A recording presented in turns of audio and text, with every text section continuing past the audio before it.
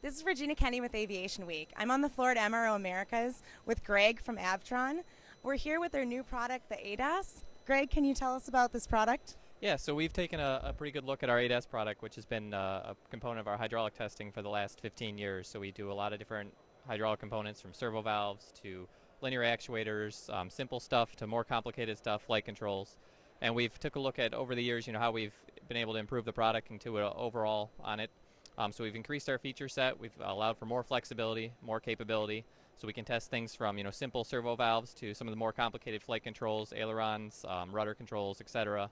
And we've been able to do that with one package that kind of fits all of our customers' you know needs from a universal standpoint, so that we can use a single ADAS system to test all kinds of components rolled around from one bench to the next, um, depending on how their test setup works. And how is this different than other products that you've released?